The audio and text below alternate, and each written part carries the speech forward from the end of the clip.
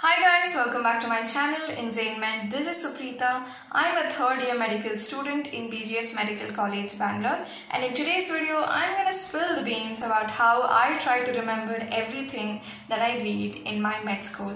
I'm pretty sure all of us have found ourselves in a situation one or the other time where you have crammed a hundred things into your head a day before the exam and then you just go and vomit it out on your paper. But if I ask you a question about the topic a week later, you probably wouldn't remember anything.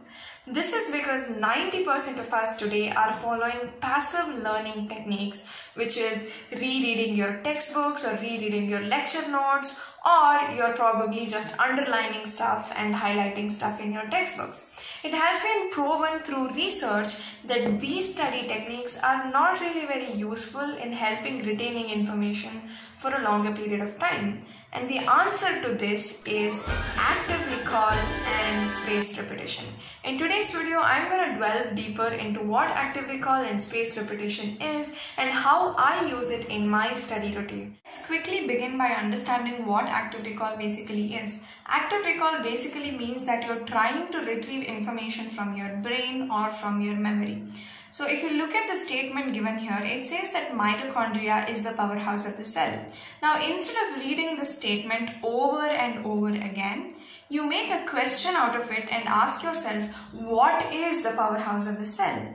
And when you do this, you are forcing your brain to retrieve information from your memory. So this is what active recall is. Instead of just reading and rereading your notes, you make questions on these notes and you try to retrieve information. Now let's quickly go to what spaced repetition is. Now this is a memory decay curve which was given by a German psychologist called Hermann Ebbinghaus. If you look at this curve, you see that whatever you learnt on the first day, you start forgetting it within the next day itself. So almost 20% of what you learned is gone within the first day.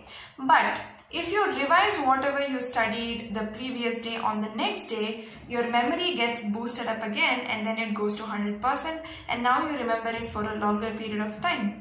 And then as you're forgetting it, if you revise it again, your memory gets boosted again and then you remember it for an even longer period of time. To incorporate active recall and spaced repetition into my study routine, I use something called Anki. Anki is a free flashcard app which you use to make flashcards from the notes or your textbook. And the most important thing about this is that it has active recall and spaced repetition algorithms built into it. I'll take you guys through one of my chapters so that you can understand better what I'm talking about. I'm basically studying bacterial conjunctivitis right now under that, I am studying acute bacterial conjunctivitis. So I read this paragraph and there are quite a few points that I want to remember. That is basically I want to remember that acute bacterial conjunctivitis spreads through direct contact with infected secretions.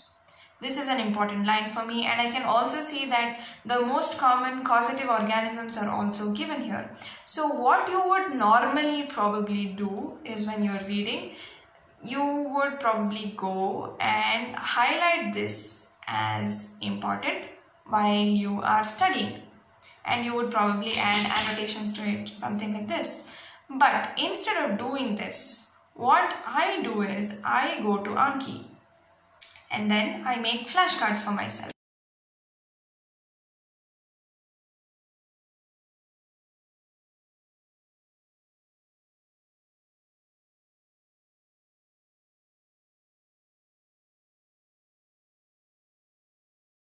Now let's create a deck named conjunctivitis. Let's create a deck called conjunctivitis.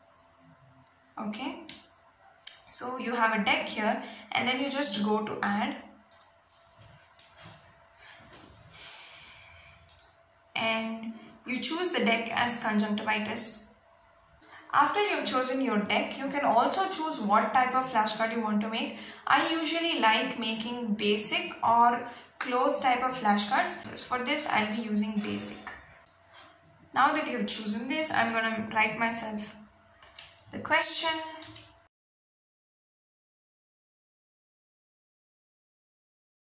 okay and then you write the answer on the back then you go to add and a new flashcard has been created now I'm going to show you guys how this looks. Okay? So if you can see now for conjunctivitis one new card has been added. If you go to conjunctivitis now and you press study now you get the question like this. What is the mode of infection in acute bacterial conjunctivitis? And then you press if you know the answer you try to recall it and then you press show answer you will get the answer here now the cool part here is the space repetition thing. If you knew the answer and if you could recall it very easily, you just choose easy and this card is gonna be shown to you 4 days later again. And if you took some time to recall it and then you were not very sure, you put good. So it's gonna show you a day later again. If it was very difficult to recall, you just put hard so that it will show it to you within 12 hours.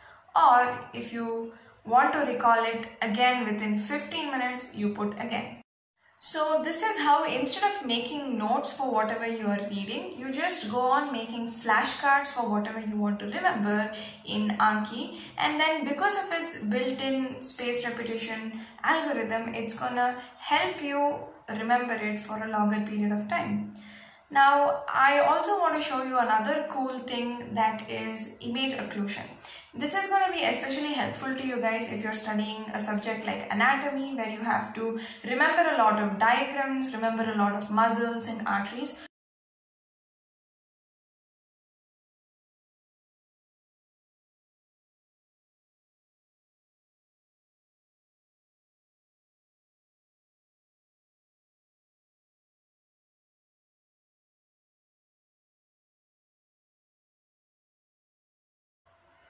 Okay, let's go to conjunctivitis and then I'm going to add another flashcard here. Now here, instead of choosing the basic type of card, I'm going to choose something called image occlusion enhanced. Add the image here. Okay. After you've added the image, you go to this option on the right side which shows add image occlusion so you get a new window like this which is going to show you the diagram. Okay.